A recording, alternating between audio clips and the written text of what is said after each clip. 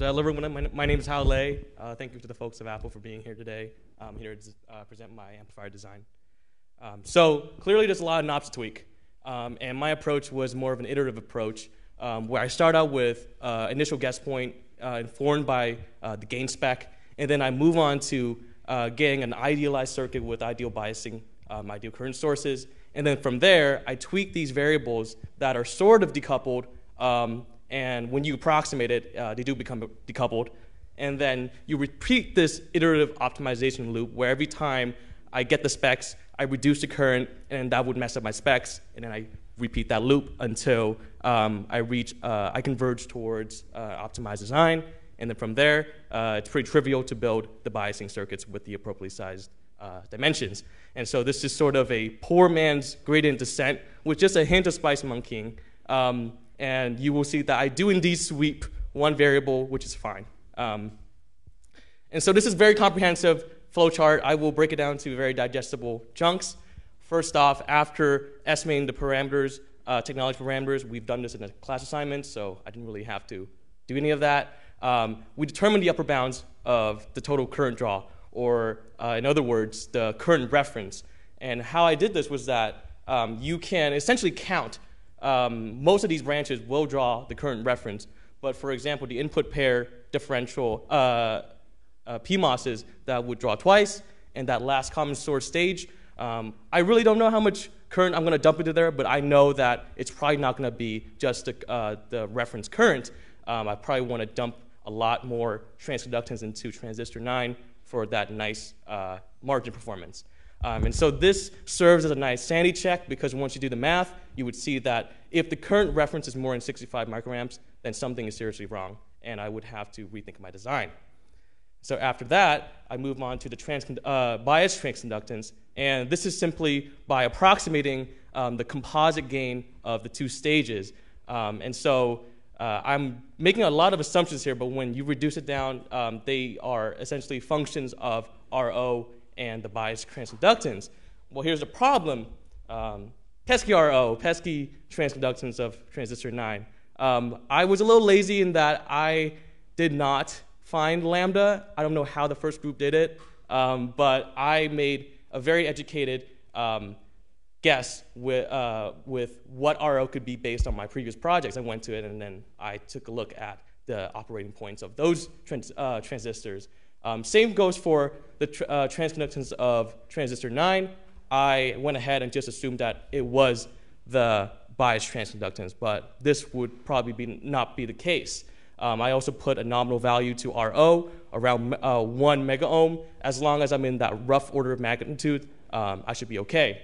And so once you plug it into the gain uh, equation and you uh, put it aside, uh, put it next to the gain spec, you would see that uh, at minimum, the transconductance should be at least 86 microsiemens.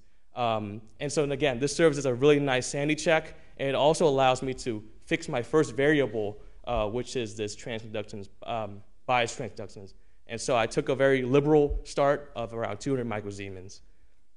And then from there, we can derive um, where we actually pick the overdrive voltage. I chose a value of 0.2 this is reasonable because it allows common mode swing on inputs and outputs, but it also allows for some fluctuations in the simulation where I don't want to pick the lowest VOV, which is uh, 0.15, because if it fluctuates, I will violate that condition.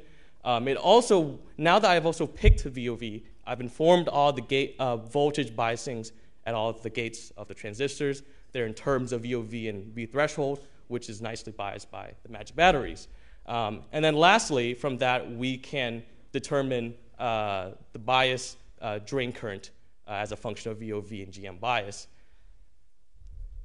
And so now, with all these variables that we have that we have fixed, uh, we can derive the rest. Uh, w over L, which are functions of VOV and GM bias. Uh, we pick low values so that we don't have high intrinsic capacitances. unity gain bandwidth, again, a function of uh, GM bias, and we can derive uh, CC to meet the unity gain bandwidth spec. Um, and then we can also predict the poles, and then we can cancel out that second pole with the nulling resistor. And so now we're done. We're done with that first stage. We've done a lot of the legward to have an initial guess point. And then now we enter um, this iterative loop. And it's nice that I have a working default circuit that time uh, if time is really tight, I can always default back to the circuit and submit it, um, and it'll be fine. So as long as you have a good stable point, you can have a better intuition of the DC node voltages that are, are quote unquote the right operating points of all these transistors. And so now when you go to the, the optimization loop, um, you can see that I've broken it up into three nice stages. Um, and the idea is that when you tweak a knob at one stage, you're not degrading the performance of the previous stage.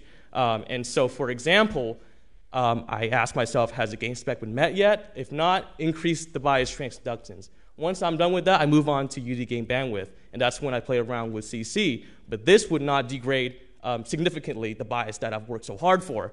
Um, so when you move through these stages, um, you're essentially checking these boxes off. And then the end, you ask yourself, can you lower this GM bias? Um, and if you can, then you go, and then once you've lowered it and you still have uh, met the gain spec, you go back and then you try to uh, tweak these knobs and check those boxes again. Um, and so this is where I mentioned about a bit of spice monkeying. There is a um, section where I do get to sweep the nulling resistor, and this is essentially like a bump in the Bode plot, and we are trying to cancel out um, that second non-dominant pole and get the best margin performance that we can. And so once we've done that and we've converged to a solution, uh, we build our biasing circuits, which is um, we've already derived in class how to size those transistors. Uh, and so this is my performance. Admittedly, it is not. Um, I definitely could have went more, and this was definitely due to time. Um, it was Thanksgiving, and I was lowering my bias current, and they said dinner's ready, and so I just had to stop. Uh, but I lowered it, and I definitely could have went more. But I think what is valuable to me is I'm presenting a very comprehensive design flow that I can take even further, not just for design, but for any other design. Um, and so that concludes my presentation. Um, and it's okay to be a spice monkey, despite what Professor says. Um, yeah. So, Hao, before you go on, I have one last question for you. You used the, the word we a lot.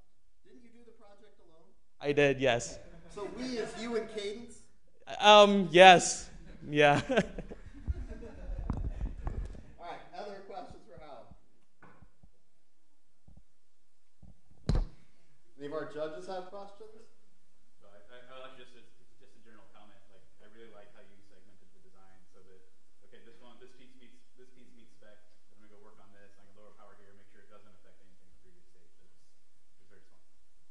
small bites, not shoving the whole thing in your mouth at once. All right, let's thank our speaker one more time.